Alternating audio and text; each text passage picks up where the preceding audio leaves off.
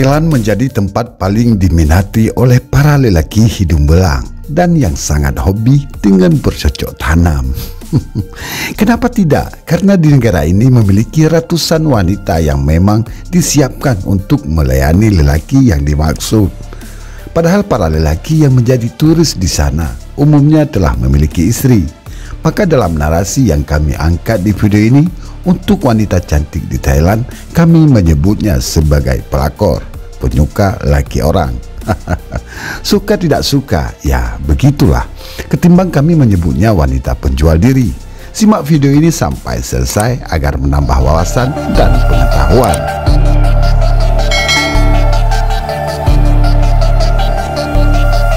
Halo santai mana di mana pun berada, ragam suku dan bangsa di berbagai belahan dunia. Jumpa lagi bersama saya King Hosi Segalap Dunia How are you?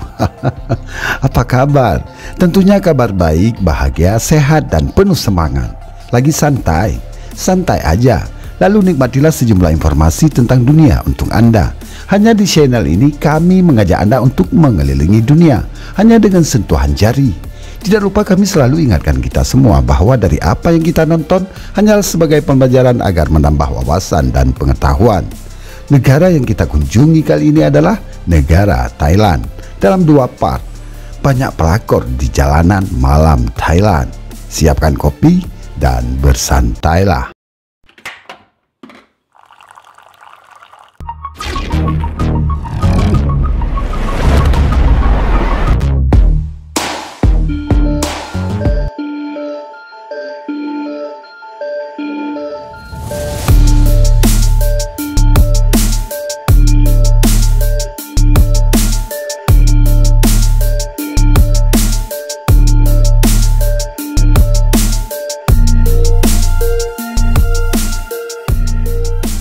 Sepanjang jalan di malam hari dan bahkan siang hari, ratusan wanita pelakor berderetan di jalan kota. Thailand dan wanita pelakor ini tidak bisa dipisahkan karena di antara masyarakat Thailand ada anggapan umum bahwa para situsi selalu dan akan selalu menjadi bagian dari tatanan sosial masyarakat Thailand.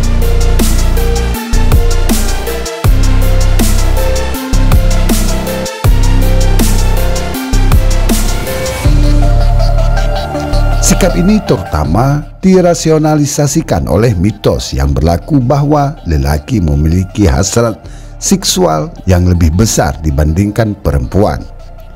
Dukungan terhadap institusi tidak hanya datang dari laki-laki saja. Mayoritas perempuan Thailand, terutama dari kelas atas dan menengah, setuju dengan logika ini.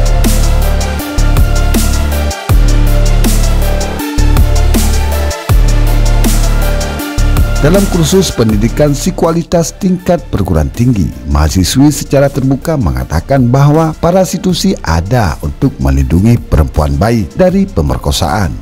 Perempuan yang sudah menikah dari desa-desa di bagian utara Thailand berbicara dalam kelompok fokus tentang preferensi mereka terhadap suami yang mencari pekerja yang tidak senonoh, mengingat kondom digunakan, daripada mengambil istri di bawah umur mencerminkan sikap masyarakat secara umum. Perempuan yang menikah percaya bahwa para institusi adalah solusi praktis bagi laki-laki menikah yang tuntutan siklusnya lebih besar tidak dapat dipenuhi oleh para istrinya.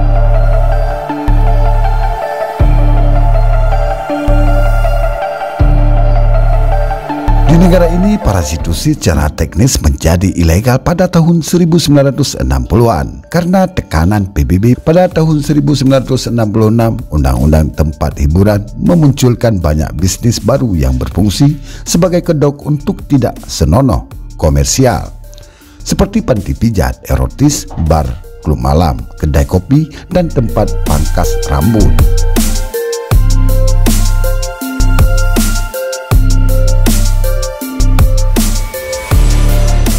Upaya selanjutnya dari pemerintah Thailand untuk memberantas para institusi telah membuahkan hasil. Telah terjadi selama bertahun-tahun, terutama pada tahun 1981 dan 1982. Namun semuanya telah segera ditinggalkan. Sebaliknya pemerintah Thailand berfokus pada pengendalian penyakit menular atau PMS di kalangan pekerja yang tidak senonoh itu dengan menggunakan otoritas kepolisian dan struktur layanan kesehatan masyarakat.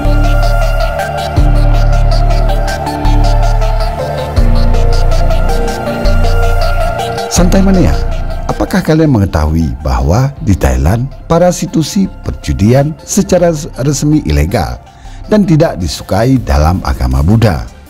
Namun Thailand dipenuhi dengan rumah bordir, pelacur, dan pelanggan dari keduanya. Banyak hotel yang memiliki pelacur, ada banyak distrik seperti Patpong di Bangkok yang dikhususkan untuk Sikh dengan rumah pelacur, pertunjukan Sikh, gadis bar, mucikari, dan toko nopo.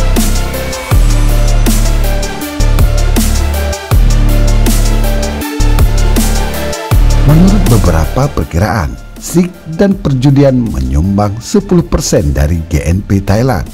Sebuah studi memperkirakan nilai total industri SIG adalah 4,3 miliar dolar per tahun. Yang lain mengatakan jumlahnya lebih dari 20 miliar dolar.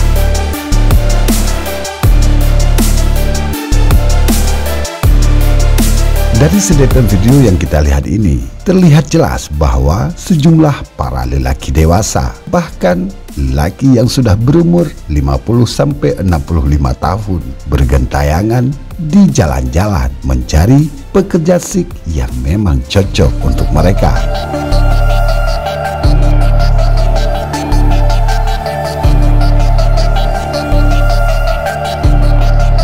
Santai mania dari apa yang telah kita nonton dan simak, kami menyimpulkan bahwa Thailand menjadikan pekerja Sikh adalah ilegal dan walau demikian tetap dibiarkan. Hal ini bertujuan untuk menarik minat turis atau para wisata agar terus-menerus mengunjungi Thailand.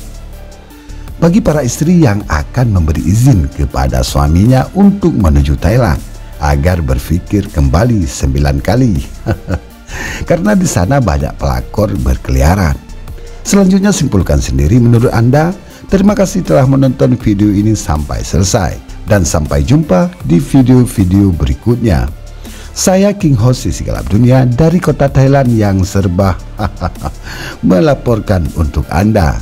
Jangan lupa like, subscribe channel ini agar kita dapat mengenal dunia hanya dengan sentuhan jari.